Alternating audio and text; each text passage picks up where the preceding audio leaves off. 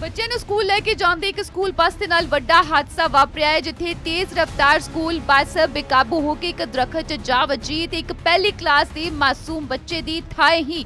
ਮੌਤ ਹੋ ਗਈ ਹੈ। ਜਿਸ ਦੇ ਮਾਪੇ ਵੀ ਹਾਦਸੇ ਵਾਲੀ ਥਾਂ ਤੇ ਪਹੁੰਚੇ ਹੋਏ ਨੇ ਤੇ ਉਹਨਾਂ ਦਾ ਰੋ ਰੋ ਕੇ ਬੁਰਾ ਹਾਲ ਹੈ ਤਿੰਨ ਹੋਰ ਬੱਚੇ ਨੇ ਜੋ ਗੰਭੀਰ ਜ਼ਖਮੀ ਦੱਸੇ ਜਾ ਰਹੇ ਨੇ ਜਿਨ੍ਹਾਂ ਦੀ ਹਾਲਤ ਨਾਜ਼ੁਕ ਹੈ ਹਸਪਤਾਲ ਦੇ ਵਿੱਚ ਜ਼ੇਰੇ ਇਲਾਜ ਨੇ ਇੱਥੇ ਲੋਕਾਂ ਦਾ ਕਹਿਣਾ ਹੈ ਕਿ ਬੱਸ ਦਾ ਡਰਾਈਵਰ ਨਸ਼ੇ ਦੇ ਵਿੱਚ ਸੀ ਉਸਨੇ ਸ਼ਰਾਬ ਪੀਤੀ ਹੋਈ ਸੀ ਜਿਸ ਕਰਕੇ ਹਾਦਸਾ ਵਾਪਰਿਆ ਹੈ ਤੇ ਹਾਦਸਾ ਵਾਪਰਨ ਤੋਂ ਬਾਅਦ ਜਿੱਥੇ ਮਾਪੇ ਵੀ ਪਹੁੰਚ ਚੁੱਕੇ ਨੇ ਹਾਦਸੇ ਵਾਲੀ ਥਾਂ ਤੇ ਲੋਕ ਇਕੱਠੇ ਹੋ ਗਏ ਨੇ, ਤਾਂ ਸਕੂਲ ਦਾ ਕੋਈ ਵੀ ਅਧਿਆਪਕ ਜਾਂ ਪ੍ਰਿੰਸੀਪਲ ਇੱਥੇ ਨਹੀਂ ਪਹੁੰਚਿਆ, ਜਿਸ ਨੂੰ ਲੈ ਕੇ ਲੋਕਾਂ ਦੇ ਵੱਲੋਂ ਗੁੱਸਾ ਵੀ ਜ਼ਾਹਰ ਕੀਤਾ ਗਿਆ ਹੈ। ਦੱਸ ਦਈਏ ਕਿ ਜਗਰਾਓ ਦੇ ਵਿੱਚ ਇੱਕ ਨਿੱਜੀ ਸਕੂਲ ਬੱਸ ਹੈ ਇਹ, ਜਿੱਥੇ ਹਾਦਸਾ ਹੋਇਆ ਹੈ। ਦਰਖਤ ਦੇ ਨਾਲ ਜਾ ਟਕਰਾਈ ਹੈ ਸਕੂਲ ਬੱਸ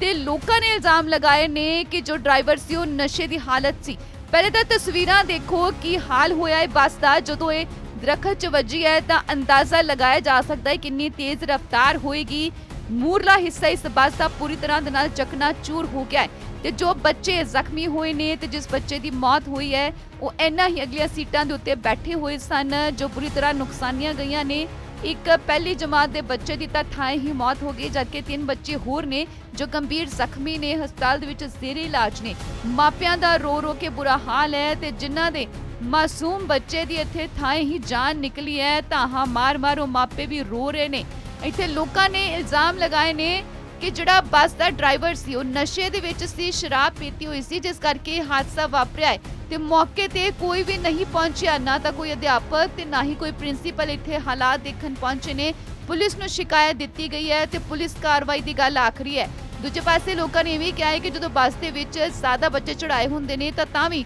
ਸਕੂਲ ਵਾਲਿਆਂ ਨੂੰ ਸ਼ਿਕਾਇਤ ਕੀਤੀ ਜਾਂਦੀ ਹੈ ਤਾਂ ਉਹਨਾਂ ਦੀ ਕੋਈ ਸੁਣਵਾਈ ਨਹੀਂ ਹੁੰਦੀ। ਸੋ ਇੱਥੇ ਸਿੱਧੀ ਸਿੱਧੀ ਲਾਪਰਵਾਹੀ ਜਿਹੜੀ ਹੈ, ਉਹ ਸਕੂਲ ਪ੍ਰਬੰਧਕਾਂ ਦੀ ਦੱਸੀ ਜਾ ਰਹੀ ਹੈ, ਡਰਾਈਵਰ ਦੀ ਦੱਸੀ ਜਾ ਰਹੀ ਹੈ, ਜਿਸ ਲਈ ਉਹਨਾਂ ਦੇ ਖਿਲਾਫ ਸਖਤ ਤੋਂ ਸਖਤ ਕਾਰਵਾਈ ਦੀ ਮੰਗ ਕੀਤੀ ਜਾ ਰਹੀ ਹੈ।